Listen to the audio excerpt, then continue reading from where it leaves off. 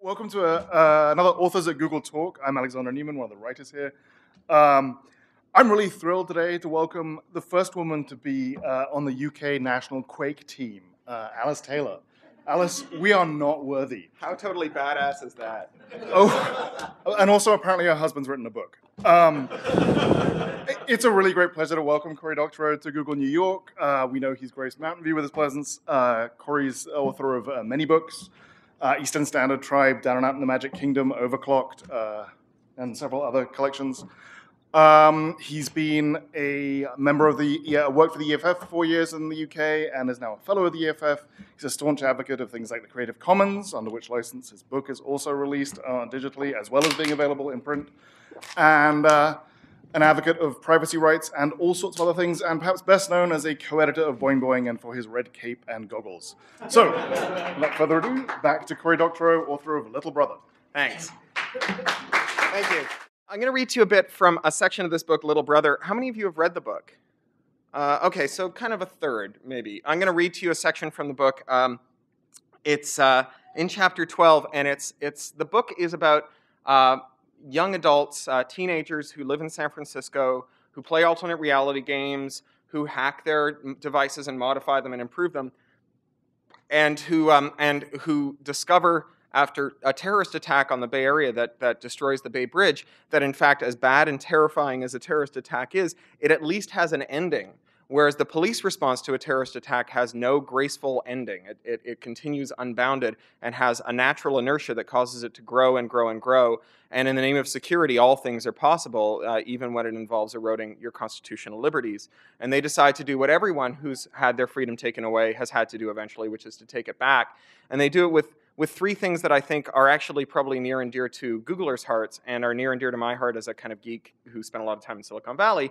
Um, the first thing they do is they decide they're going to take back control of their devices. You know, like many of you, I started using personal computers around 1979. My dad was a computer science teacher. He brought home an Apple II Plus. Um, it, it, only got uppercase letters. Uh, we had to shout. Um, and the, the, only way to get lowercase letters was to take the modem card out, and none of us wanted to do that because it meant chopping off access to the, the wide world of networks, of, of BBSs and so on, through which I was able, as a nine-year-old, to gain access to people, ideas, uh, tools, conversations, and communities that I, even the most powerful and sophisticated adults just a few years before, couldn't have had without a dedicated staff of people helping them out. And that only got better. I mean, every year that went by, that got better. And to, the computer became the tool that gave me maximum control over my life and agency in terms of how I reacted to the rest of the world.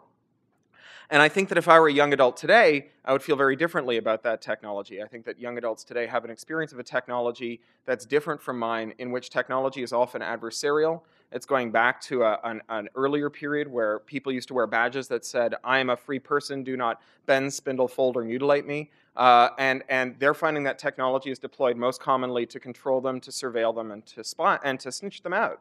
Um, and so they decide to take back control of it. They decide that, uh, in the words of Dale Dougherty, the publisher of Make magazine, if you can't open it, you can't own it. They figure out how to open the devices that they have, how to replace their firmware, and how to use them to build a cryptographically secured network of, um, of hacked Xboxes uh, that overlays uh, San Francisco and that can't be wiretapped. Um, the second thing they do is they change the conversation about security by learning more about mathematics, um, particularly about the statistics of rare occurrences. Um, as, as human beings, we have poor intuition about rare occurrences. Las Vegas is a testament to this. Um, you know, uh, a, a, smart response to Las Vegas would be, how could they build those casinos unless everyone who landed here lost everything?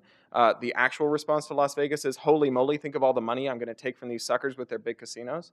Um, so they decide that they're going to start talking about what, what a rare occurrence means, and more particularly, what it means to detect a rare occurrence with an algorithm. And while a, an algorithm may be a good way to detect um, things like uh, when a sysadmin needs to look at a server because it's behaving anom anomalously, um, as a means of determining who gets justice and who doesn't, or who's under suspicion and who isn't, it's sadly inadequate. If you're testing for something that occurs one in a million times, with an algorithm that's uh, 1 in 100 or 99 in 100 accurate, then out of um, a million tests, you'll get 10,000 inaccurate responses. So your 99% accurate test be, uh, gets, gets it wrong 9,999 times out of 10,000. Uh, the last thing they do is they get involved in electoral politics. Um, this being the only sure method that we have through uh, history of, of changing society over a protracted period. You might be able to use uh, civil disobedience and protest to change society over a short term, uh, to convince the current rulers that your case is just. But if you want the next round of rulers to do the right thing when you when when uh, they take office, you need a kind of legislative layer on top of it. And so they get involved in electoral politics. And like teenagers who've been involved in electoral politics uh, in every election uh, that has ever mattered in this country. Um, they stuff envelopes, they knock on doors, they use technology, um, and they speak with the moral authority of people whose worlds will be determined by the outcome of, of this electoral race. So in the reading that I'm about to give you, uh, Mikey uh, uh, Marcus is the founder of XNet. He goes by Mikey M1 M1K3Y when he's online. Uh, is the founder of the XNet, and he's uh, had a key signing party, cryptographic key signing party that involved building and smashing a laptop after it had been used to generate the keys to make sure that the keys would never be recovered off of it. At which he met a young woman uh, whom he hit it off with, and um, they're go- going on their first date in Mission Dolores Park in San Francisco. Uh, the um, date is an open air concert, an illegal one that was organized using the XNet, and that's where the action starts, just as they are about to go out for a burrito. Mission burritos are an institution. They are cheap, giant, and delicious. Imagine a tube the size of a bazooka shell filled with spicy grilled meat, guacamole, salsa, tomatoes, refried beans, rice, onions, and cilantro. It has the same relationship to Taco Bell that a Lamborghini has to a Hot Wheels car. There are about 200 Mission Burrito joints. They're all heroically ugly with uncomfortable seats and minimal decor, faded Mexican tourist office posters, and electrified framed Jesus and Mary holograms, and loud mariachi music. The thing that distinguishes them mostly is what kind of exotic meat they fill the burritos with. The really authentic places have brains and tongue, which I never order, but it's nice to know they're there. The place we went to had both brains and tongue, which we didn't order. I got carne asada and she got shredded chicken, and we each got a big cup of horchata. As soon as we sat down, she unrolled a burrito and took a little bottle out of her purse. It was a little stainless steel aerosol canister that looked for all the world like a pepper spray self defense unit. She aimed it at her, at her burrito's exposed guts and misted them with a fine red, oily spray. I caught a whiff of it and my throat closed and my eyes watered. What the hell are you doing to that poor defenseless burrito? She gave me a wicked smile. I'm a spicy food addict, she said. This is capsaicin oil in a mister. Capsaicin? Yeah, the stuff in pepper spray. This is like pepper spray, but slightly more dilute and way more delicious. You can think of it as spicy Cajun Visine if that helps. My eyes burned just thinking of it. You're kidding, I said. You are so not going to eat that. Her eyebrows shot up. That sounds like a challenge, son. You just watch me. She rolled the burrito up as carefully as a stoner rolling up a joint, tucking the ends in, then rewrapping it in the tinfoil. She peeled off one end and brought it up to her mouth, poised with it just before her lips. Right up to the time she bit into it, I didn't believe that she was going to do it. I mean, that was basically an anti personnel weapon she just slathered on her dinner. She bit into it, chewed, swallowed, gave every impression of having a delicious meal. Want a bite? she said, innocently. Yeah, I said, hey, I like spicy food. I always get the chilies with four cur- with the curries with four chilies next to them when we order in from the Pakistani place. I peeled back more foil and took a big bite. Big mistake. You know that feeling you get when you take a big bite of horseradish or wasabi or whatever, and it feels like your sinuses are closing at the same time as your windpipe, filling your head with trapped, nuclear hot air that tries to batter its way out through your watering eyes and nostrils? That feeling like steam is about to pour out of your ears like a cartoon character? This was a lot worse.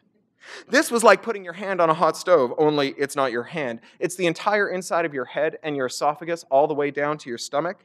My entire body sprung out in a sweat, and I choked and choked.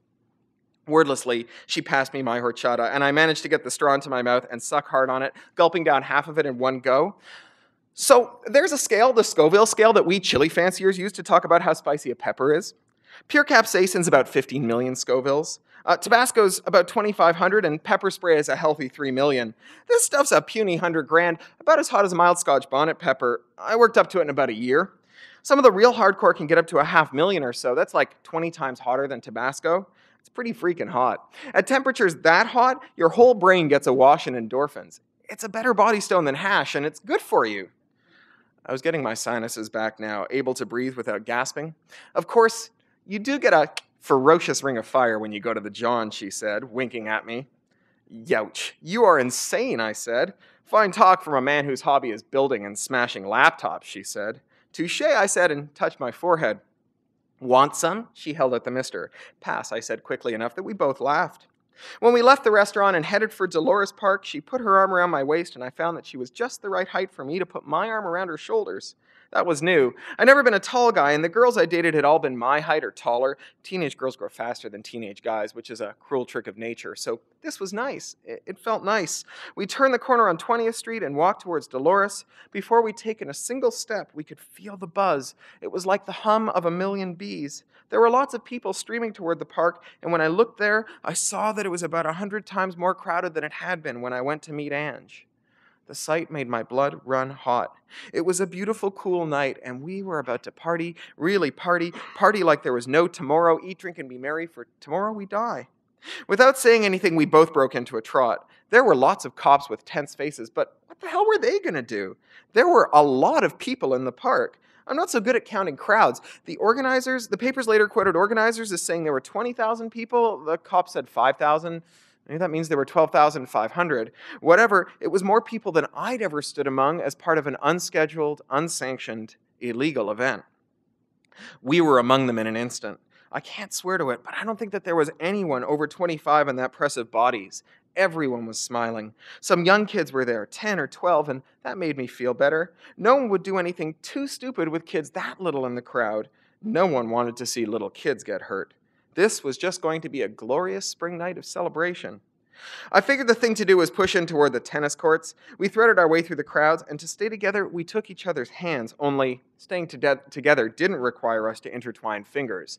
That was strictly for pleasure, and it was very pleasurable. The bands were all inside the tennis courts with their guitars and mixers and keyboards and even a drum kit. Later on XNet, I found a Flickr stream of them smuggling all this stuff in piece by piece in gym bags and under their coats. Along with it all were huge speakers, the kind you see in automotive supply places, and among them a stack of car batteries. Genius, I laughed. That was how they were going to power the stacks. From where I stood, I could see that they were cells from a hybrid car, a Prius. Someone had gutted an ecomobile to power the night's entertainment. The batteries continued outside the courts, stacked up against the fence, tethered to the main stack by wires threaded through the chain link. I counted 200 batteries. Christ, those things weighed a ton too. There's no way they organized this without email and wikis and mailing lists, and there's no way people this smart did that on the public internet. This had all taken place on the XNet. I bet my boots on it. We just kind of bounced around in the crowd for a while as the bands tuned up and conferred with one another. I saw Trudy Doo from a distance in the tennis courts. She looked like she was in a cage, like a pro wrestler. She was wearing a torn wife beater, and her hair was in long, fluorescent pink dreads down to her waist. She had on army camouflage pants and giant gothy boots with steel overtoes. As I watched, she picked up a heavy motorcycle jacket, as worn as a catcher's mitt, and put it on like it was armor. It probably was armor, I realized. I tried to wave to her to impress Ange, I guess, but she didn't see me and I kind of looked like a spaz, so I stopped. The energy in the crowd was amazing. You hear people talk about vibes and energy to describe big groups of people, but until you've experienced it, you probably think it's just a figure of speech. It's not. It's the smiles, infectious and big as watermelons on every face, everyone bopping a little to an unheard rhythm, shoulders rocking, rolling walks, jokes and laughs, the tone of every voice tight and excited, like a firework about to go off, and you can't help be a part of it because you are. By the time the bands kicked off, I was utterly stoned on the crowd vibe. The opening act was some kind of Serbian turbo folk, which I couldn't figure out how to dance to. I know how to dance to exactly two kinds of music trance, shuffle around and let the music move you, and punk, bash around and mosh until you get hurt or exhausted, or both. The next act were Oakland hip hoppers backed by a thrash metal band, which is better than it sounds, and then some bubblegum pop, and then Speedwhores took the stage and Trudy Doo stepped up to the mic. My name is Trudy Doo, and you're an idiot if you trust me. I'm 32, and it's too late for me. I'm, I'm lost. I'm stuck in the old way of thinking. I still take my freedom for granted and let other people take it away from me. You're the first generation to grow up in Gulag America, so you know what your freedom is worth to the last goddamn cent. The crowd roared. She was playing fast little skittery nervous chords on her guitar, and her bass player, a huge girl with a dykey haircut and even bigger boots and a smile you could open beer bottles with, was laying it down fast and hard already. I wanted to bounce. I bounced. Ange bounced with me. We were sweating freely in the evening, which reeked of perspiration and pot smoke. Warm bodies crushed in on all sides of us, and they bounced too. Don't trust anyone over 25, she shouted. We roared. We were one big animal throat roaring. Don't trust anyone over 25. Don't trust anyone over 25. Don't trust anyone over 25. She banged some hard chords on her guitar, and the other guitarist, a little pixie of a girl whose face bristled with piercings, jammed in, going wheedledee wheedledee dee way up high past the 12th fret. It's our goddamn city. It's our goddamn country. No terrorist can take it from us for so long as we're free. Once we're not free, the terrorists win. Take it back. Take it back. You're young enough and stupid enough not to know that you can't possibly win, so you're the only ones who can lead us to victory. Take it back. Take it back back, we roared. She jammed down hard on her guitar. We roared that note back to her, and then it got really, really loud. I danced until I was so tired I couldn't dance another step. Ange danced alongside of me. Technically, we were rubbing our sweaty bodies against each other for several hours, but I was totally not being a horn dog about it. We were dancing, lost in the God beat and the thrash and the screaming, take it back, take it back. When I couldn't dance anymore, I grabbed her hand and she squeezed mine like I was keeping her from falling off a building. She dragged me toward the edge of the crowd where it got thinner and cooler. Out there on the edge of Dolores Park, we were in the cool air and the sweat on our bodies went instantly icy. She threw her arms around my she shivered and threw her arms around my waist. "Warm me," she commanded. I didn't need a hint. I hugged her back. Her heart was an echo of the fast beats from the stage, break beats now, fast and furious and wordless. She smelled of sweat, a sharp tang that smelled great. I knew I smelled of sweat too. My nose was pointed into the top of her head, and my face was right at her collarbone. She moved my hands to her neck and tugged. Get down here, I didn't bring a stepladder, is what she said, and I tried to smile, but it's hard to smile when you're kissing. Like I said, I'd kissed three girls in my life. Two of them had never kissed anyone before, and one had been dating since she was 12, but she had issues. None of them kissed like Ange. Slowly, gently, we lowered ourselves to the grass. We lay on our sides and clutched at each other, kissing and kissing. The world disappeared so that there was only the kiss. Not here, she said. Let's move over there. She pointed across the street at the big white church that gives Mission Dolores Park and the mission their name. Holding hands, moving quickly, we crossed to the church. It had big pillars in front of it. She put my back up against one of them and pulled my face down to hers again. My hands went quickly and boldly to her shirt. I slipped them up the front. That's when the sirens started. They were louder than anything I'd ever heard, a sound like a physical sensation, like something blowing you off your feet, a sound as loud as your ears could process, and then louder. Disperse immediately, a voice said, like the voice of God rattling in my skull. This is an illegal gathering. Disperse immediately. The band had stopped playing. The noise of the crowd across the street changed. It got scared, angry, I heard a click as the, as the PA system of speakers and car batteries in the tennis courts powered back up.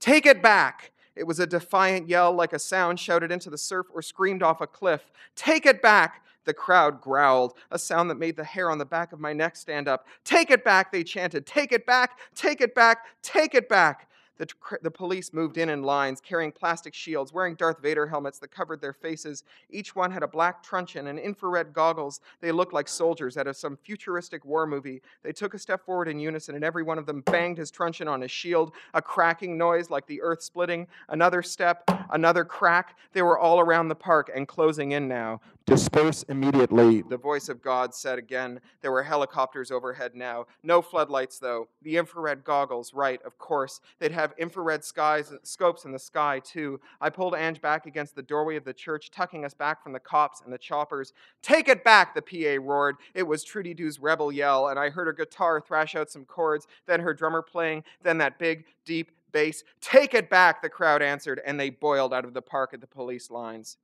I'd never been in a war, but now I think I know what it must be like. What it must be like when scared kids charge across a field in an opposing force, knowing what's coming, running anyway, screaming, hollering. Disperse immediately, the voice of God said. It was coming from p- trucks parked all around the park, trucks that had swung into place in the last few seconds. That's when the mist fell. It came out of the choppers, and we just caught the edge of it.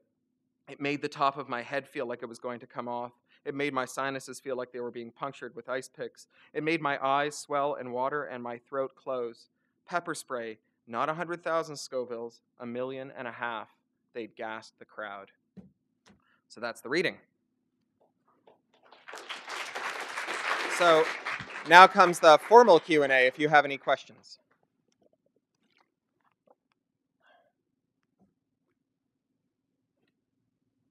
Yes, I guess you need to use the side mics. How heavy is that watch? How heavy is the watch? It's surprisingly lightweight. It's uh, hollow. Um, so it's made by this um, Japanese designer. Uh, you can Google it. It's uh, I've forgotten his name. It's uh, Jap- Japanese steampunk watch. You'll find it. And uh, he makes them mostly for like film sets and galleries. Uh, but he made four for sale: uh, two men's watches like this and two women's watches. And before I blogged it, I bought one. and so it does this, and then it, it has a catapult built in.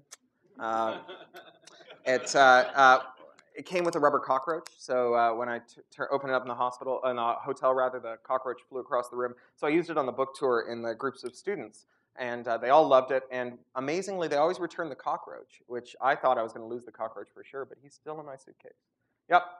Um, you said that, you released the book under Creative Commons as well. Mhm. Um, publishers tend to dislike uh, people Mhm. doing this. So, uh, firstly, how did you get away with it? And secondly, how do people with less notoriety than you get away with it? Well, I'll start by saying I didn't have a whole lot of notoriety when I when I did it. Um, what I had was a great editor, who's in fact sitting behind you. Um, other side, there he is, Patrick Nielsen Hayden, who's the senior editor at Tor Books. And uh, to me, it made a, a lot of intuitive sense. Um, I didn't think I was going to be able to stop people who loved the book from scanning it. And having uh, when the when the book warez scene first appeared, book warez with a Z. Uh, uh, first of which is people who slice the bindings off books and scan. I mean, it's Google Book Scan, but done in basements, right? Uh, slice the bindings off books, scan both, and it's destructive. Scan both sides of the page, OCR it, do as good a copy edit as they can, put it online, and, and then other people uh, do more copy editing, and they increment the version number without any version control system. I mean, it's really hairy. But I, when this started, a lot of science fiction writers went berserk because they were like, "Oh my God, the, the food colorings in the swimming pool will never get it out. Uh, no one will ever buy a book again.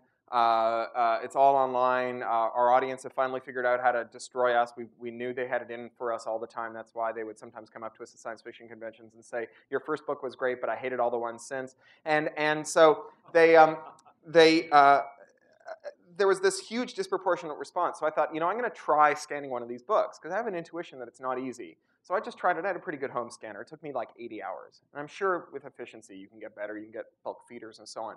But I thought 80 hours. Wow, that's a lot of time for someone to spend in order to um, convince other people that they should read a book because that's really the only reason you would scan a book is to convince other people to read it right? Because you love it and reading is a social activity. I used to work in a bookstore. People would walk into the bookstore with their friends they would walk down the shelves and they'd go oh you need to read this one you need to read this one you need to read this one and they would bring a giant stack back up to the cash register and set it down. It was like always a red letter day when you had two friends come in and start doing this with each other at- in the, in the shelves. So um, I thought, wow, that's a lot of time for these people to be spending trying to figure out how to promote books.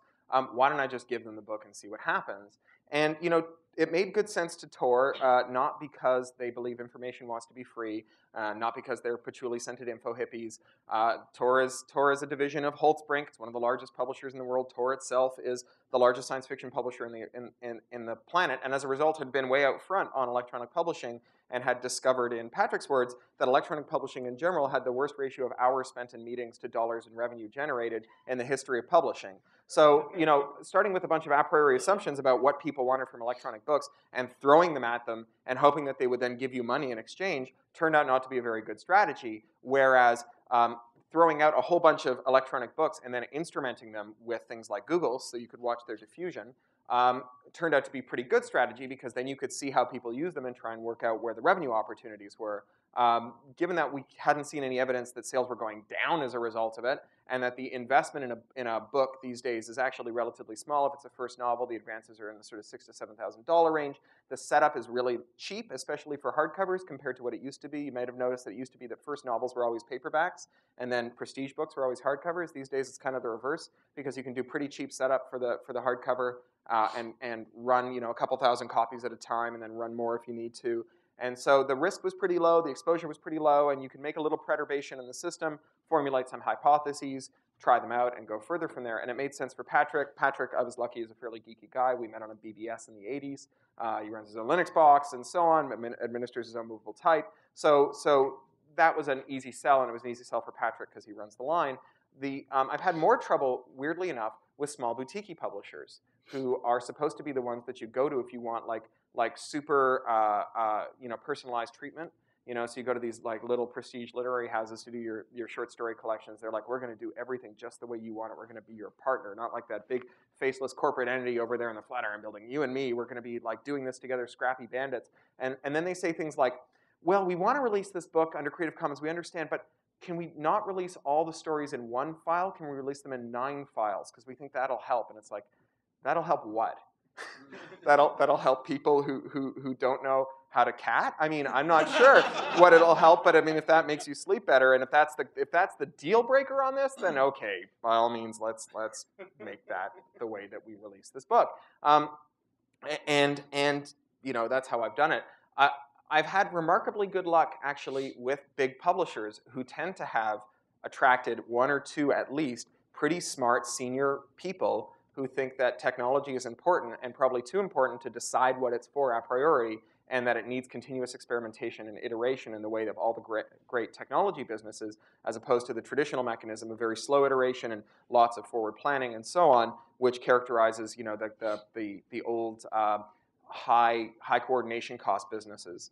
Uh, and um, you know, so, so like uh, Bertelsmann, which is the largest publisher in the world, uh, they did my German uh, translations of a bunch of my books. And they called me up and said, can we do this Creative Commons thing with your book? Like, do we have to ask your, like, like what was it that your American publisher offered you in exchange for the right to do this? Because we're really interested in doing this, right? Like, how do we get your permission to do it, right?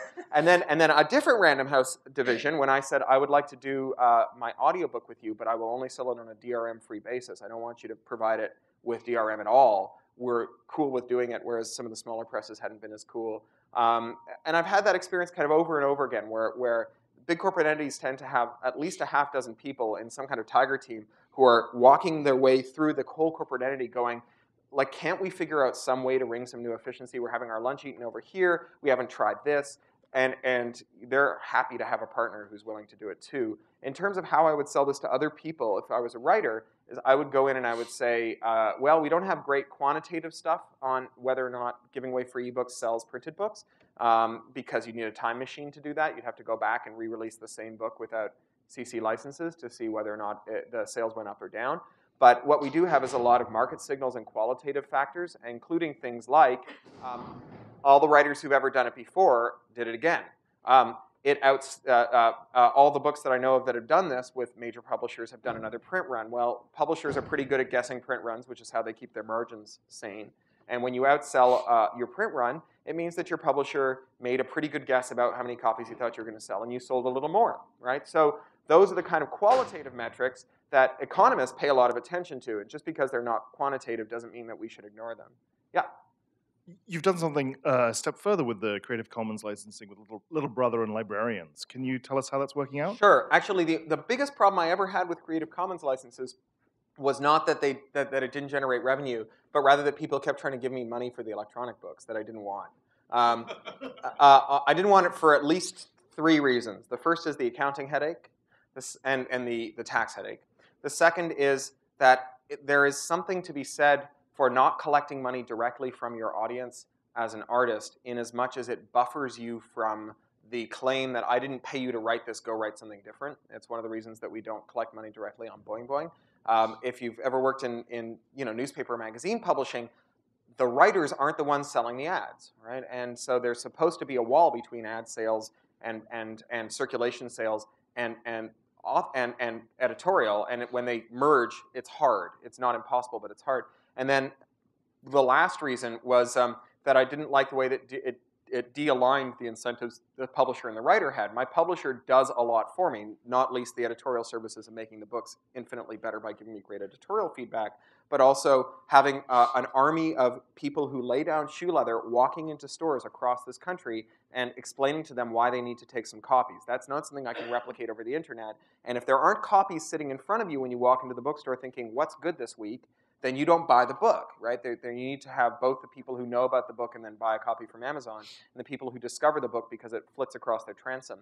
So now I do this thing um, where instead of saying, thanks for the money, I don't want the money, um, I do this thing now where I, I'm paying someone, um, Olga Nunes, who's a musician and blogger and interesting person, to gather um, the names of schools and librarians who want copies of Little Brother in hard copy, and uh, then to match them up with people who want to thank me for the free ebook by buying a copy for, for a library or school. Um, and it's kind of expensive and clunky now because none of it's been automated. Uh, it's all happening by hand, but it doesn't need to be. Yep. So I noticed that uh, your book isn't available on Kindle. Yeah. And is that because Amazon refuses to sell it without DRM? Yeah, that's right. And and moreover, um, Amazon not only won't sell the, the ebook without um, or the, the ebook without DRM through the Kindle store, but the, the other really important thing for me in terms of the audiobook is Amazon owns Audible, which is the largest audiobook publisher in the world. I'm an audiobook junkie, right? I spent thousands of dollars with Audible until I moved to Linux and discovered that I couldn't migrate my collection with me without figuring out how to break the DRM. And then all that stuff where I thought, oh, you know, it's only I'm only a little bit pregnant, right? I'm only getting a little bit of DRM in my life. This will never hurt me. Um, turned into a huge factor where I had to have three PowerBooks rolling 24/7 for a month in order to rip all that audio in real time using Audio Hijack, right? That was a huge nightmarish thing, and it was precisely because I was such a good Audible customer that I that I had that I was punished so unduly. Um, and so uh, Audible has a policy where they won't sell books without DRM. They have a whole bunch of DRM-free products like their school lecture stuff, but they won't sell books without DRM, even if the author and the publisher don't want it. And Amazon now owns Audible, and Amazon, because of that, won't sell books through their MP3 store because they would be cutting into Audible's business, and they're upholding Audible's policy. Uh, this is really um, a bummer to me. I never thought I would see the day when Amazon refused to carry one of my books. Blows my mind. Yeah. So what do you wish for this book? Do you wish it to become like 19, Orwell's 1984 that postponed what the book was about? Mm-hmm. Um, that no. So I, I, someone asked me um, what the relationship of this book is to, to, to 1984. I call it 1984 fan fiction. Um, the, the, uh, the instrumentality of this book, I think, uh, uh, the instrumental purpose of this book is to give people hope about technology and rescue them from cynicism about technology and, and other subjects related like um, politics, which is a social technology. Um, eh, so that people see technology not just as an appliance, but as something you do. Uh, and so um, my sincere hope is that kids who read this will be inspired to think of technology as something that, that is um, subject to being opened, examined, improved, and, and then dissipated rather than just something that, that kind of sits there doing what it was designed for regardless of, of what you need it to do. Uh, and I think that if that becomes widespread and stays widespread, that it will become a powerful force for reshaping our society. In addition, I hope that it raises some awareness about the, the, the, security apparatus that we exist in today. But I actually see the free and open platform issue, which I think Google's doing a really good job of fighting for with the Viacom suit, for example um, uh, are, is, is the er issue or the meta issue of, uh, of our day because it will determine the, the order of battle for every other fight that we fight from now on, right? That whether or not and how the internet is slanted towards different kinds of, of organizations and pressures and, and, um, and, or, and organizing um, and activism is going to determine what kind of battles we're allowed to have from now on. Thanks. Did, did, you, have, did you have a question? No. Oh, yeah there. Um, so, what do you think about uh, the relationship between electronic civil disobedience and kind of wider civil disobedience for uh, the more general political climate? And particularly if you happen to know, I know in the Bay Area there's a group, uh, Retort, and there's a group, Retort, and Retort. Iain Boal, um, Afflicted Powers is a book they came out with a few years ago. Um, they're talking more kind of um, progressively about the role of technology and resistance in kind of old school uh, discussions. Uh, so, any thoughts you have on that about like political resistance and, and the role of like electronic uh, disobedience? So, I think that that um, technology favors people who want to disrupt the status quo, uh, and I think that it's uh, it's always been thus. I think that you know if you if you imagine yourself in the era of earthworks. Um, you can either use earthworks to build a wall around your city, in which case you need to build a perfect wall, or you can use earthworks to undermine the wall and invade the city, in which case you need to find one imperfection. right? So the technology tends to favor the attackers who want to undermine the status quo, and that tends to be people who are involved in, in any kind of civic engagement, good or bad, right?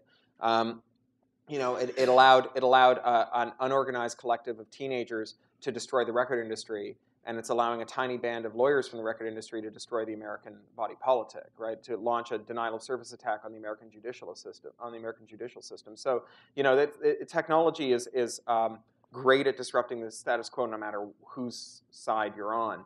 Um, I think that uh, the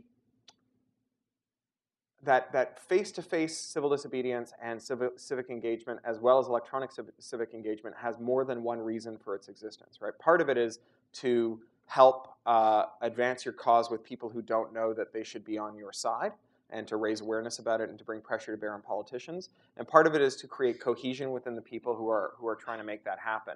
So a demonstration that doesn't convince anyone but gets 100 people more tightly knit so that they can plan one that, that convinces more people is still a success. Um, technology makes it easier to do both halves of that. And so I think it's intensely complementary. Um, on the one hand, it helps you get the, the, warm bodies out. On the other hand, it helps you stay in touch and, and intensify your social relationship afterwards. There's a story I like to tell about the way that technology disrupts the status quo uh, that I was a part of when I was with Electronic Frontier Foundation. I was at WIPO, the World Intellectual Property Organization, which is the UN agency that makes copyrights. Uh, it's like Mordor for copyright law. Um, and uh, uh, they were working on a treaty that they've been at for like seven years, and they'd spent millions of dollars on it, and the enormous forces arrayed against us, and we were this plucky band of just a few NGO people who'd scraped up the money to fly to Geneva and do this thing. And what we had were um, PowerBooks that could do ad hoc Wi-Fi. Uh, and so we did ad hoc Wi-Fi networks, and we used SubEthaEdit to write a transcript of everything everyone in the room said during the meetings and publish it twice a day with editorial commentary. And the official transcript came out six months later after everyone who was quoted in it had the chance to redact anything they didn't want on the record.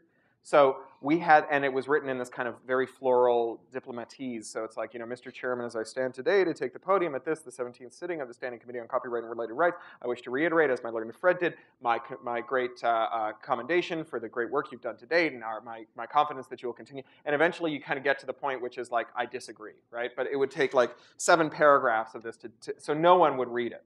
And ours were punchy, right? They were sarcastic. They were, and they got slashed on it. And for the first time, we publish them twice a day. And for the first time in the history of WIPO, delegations, national delegations, were getting phone calls from their capitals at lunch about what they said the, in the morning break, right, in the morning session. And they were being held to account. They were being lionized when they did good things. They were being uh, uh, villainized when they did bad things. Uh, and they, um, especially people who came from countries that couldn't afford to send a huge delegation to Geneva that had someone who was an expert in health and someone who's an expert in food and someone who's an expert in telecoms and someone who's an expert in copyright, those countries tended to send two people who tended to be either experts in agriculture or, or textiles or health, depending on what the, um, the most important issue in that country was. And then they would fake it at all of the other missions. And they would get advice from uh, expert agencies. And at WIPO, the expert advice came from the Motion Picture Association and PhRMA and the recording uh, IFPI, the, the, the RIAA's international wing, and so on. When we started publishing these, it totally changed the debate. Within about a year of doing this, the treaty was off the rails, and a year later it was shelved permanently. Um, when I started doing it, um, someone came up to, someone uh, emailed me, someone who had quoted in it, uh, the, the head of um, one of the broadcasters associations, and said that I was violating his copyright by writing down what he said at WIPO and publishing it the last day I was there, he came up to me and handed me a sheet of paper at the lunch break. He, he hadn't figured out how to hand me something electronic, but he handed me a sheet of paper at the lunch break, and, and I said, "What's this?" And he said, "It's what I'm going to be saying at, uh, after lunch. I want to make sure that it's recorded accurately in your minutes." Um, the uh, the delegation from one country came in and said, "You know, we were just ministerially reshuffled into here. We had no idea what was going on. We tried to read the official transcripts that the secretary prepared. They made no sense. We read yours. Now we know what's going on. Of course, that was our version. We now controlled the official version of how this treaty was proceeding, right? So this is the asymmetrical warfare that can be conducted with, uh, with a little bit of electronic know-how when the other side has none. Yeah. Okay, this is this is going to seem kind of a letdown after all of these really deep questions mm-hmm. you've been able to talk on and on and on about. Um, as I was rereading this this morning when my train was delayed, um, I just wanted to know more about the uh, hidden camera detector Uh huh. because you don't you didn't describe it in enough in enough detail for me to figure out how to build it, and my network wasn't working well to have me. Uh, So to have there, me build there- one. there's an um. Do you, do you who knows these website Instructables? You guys know Instructables? Some of you do. The, um, Instructables is like YouTube for making stuff. okay. So they have like how to bake a cookie or how to embroider something or how to make a camera detector, and you just write out your your foot your illustrated how to. Um, and Instructables, like this book, my old intern from EFF works there, and they did a series of Instructables based on the book. And the first or second one was how to build that camera detector. So it, it's Okay. it's Googleable. okay, so I'll go look for that. Any more questions?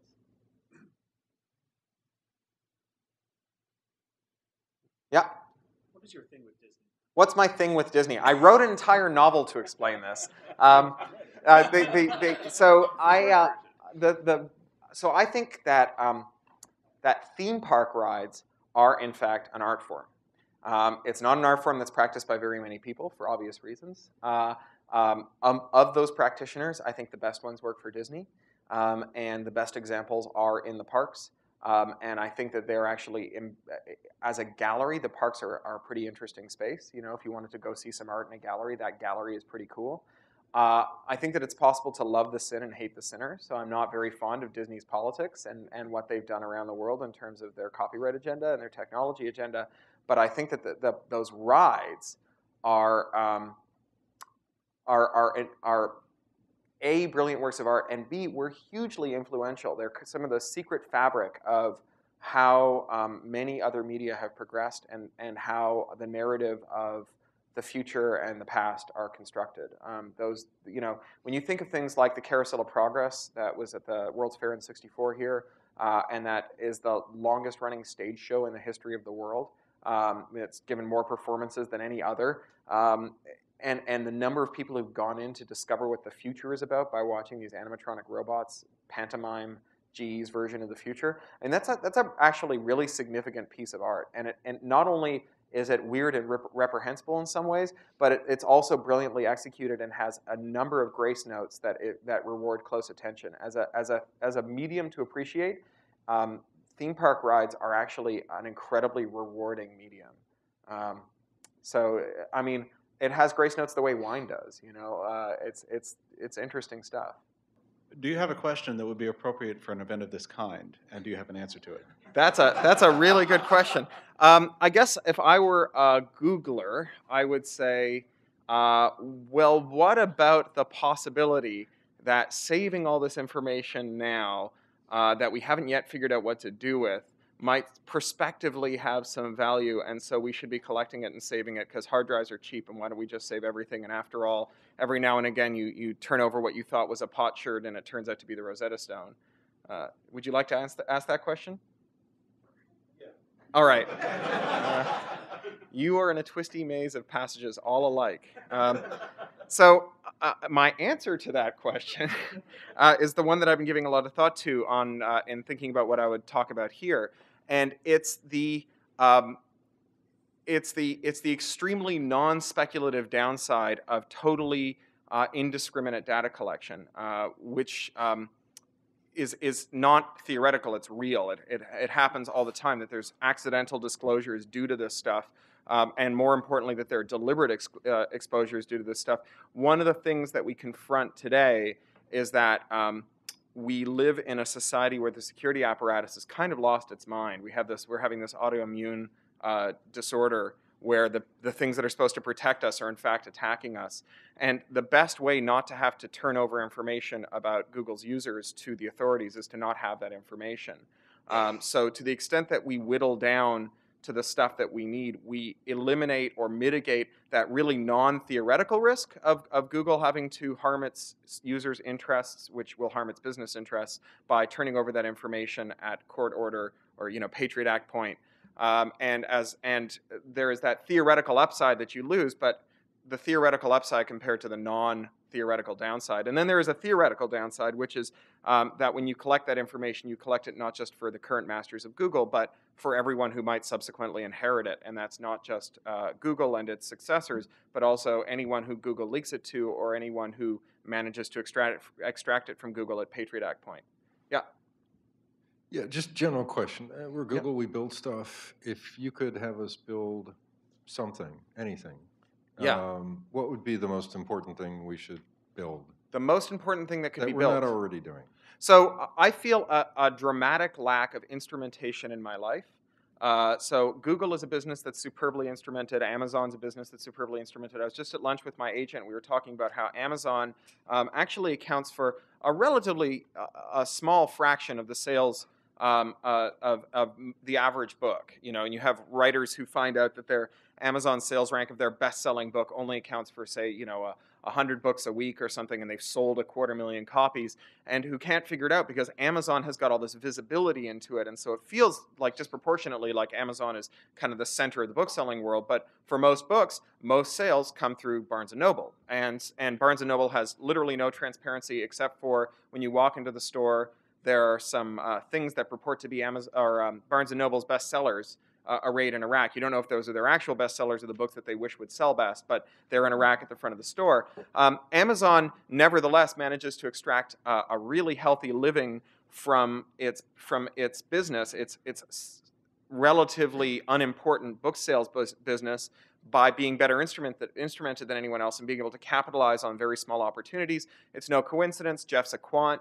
He founded that company after having made his, his living for many years doing things like figuring out that there would be a 1 18th of a point spread between the Swiss franc and the euro in the next 48 hours and kind of moving a billion dollars into Swiss francs and then waiting and then moving it out again and, and just kind of arbitraging those extremely small quantitative differences. I don't have that in my life. And anyone who purports to offer that to me in my life does so on the basis that they will sell whatever information they can glean about me to other people. Um, no one is building myware that lives on my computer or that uh, operates on a zero knowledge basis, the way that Wesabe does and a few other technologies do, where any, any information that I hemorrhage out to the rest of the world is A, under my strict control and scrutiny, and B, is anonymized to the extent that it can be, um, and then gets further anonymized at each aggregation point. Uh, instead, we have a kind of Google Calendar model where Google Cal- Calendar is superbly useful, and, and there may and probably will be tools that help Google, Google Calendar build uh, better stats to help you understand how you live your life, uh, especially when combined with lots of other things. But nothing that lives on my computer that does that. And there's a whole lot that my computer could do. Uh, my wife Alice had the, this idea once for a piece of social software that kept track of who you communicated with intensely. Um, you know who you IM with, who you um, who you email with, and who you phone, and then would notice when some of those people started to drop out of your radar and it's been 30 days and you haven't called so and so, you used to call them once a week, and before that it was once a day, maybe you should give them a call, right? I don't have that tool, and the right place to put that tool is not on the phone network, it's not in Google Mail, it's on my laptop. Uh, and no one's built that for me yet. So that would be the thing that I would love to have Google build for me. And then if Google wants to build a service off of it, I would love to have Google then say, okay, we're going to take as much of this information as we can present in a zero knowledge way, shove it into a big cloud, data mine it, and, and give you back even more insight based on looking at a whole crowd of people. Um, a second thing that isn't the most important thing, but I realized after this book tour that I was just on, is a huge opportunity that no one's doing anything about, is um, BookSense is the first time that booksellers have ever had any sense of how their books are selling. Uh, it's the point of sale scanner where you scan books as they're being sold, and it tots up something like 70% of the sales in the industry. And it's only available to uh, people who pay a lot of money to get access to it. The actual booksellers who provide the data can get some insight into their own sales patterns, but not into the whole thousand bookseller network of BookSense, uh, book, uh, of BookSense scans. Um, that's reserved to publishers who pay a lot of money for it. If you gave it to every little bookseller, then every little publisher, uh, especially the smaller ones who are fairly cheap and operate on razor thin margins, wouldn't buy BookSense accounts. They'd find a friendly local bookseller and call them 100 times a day and ask them how different books are performing.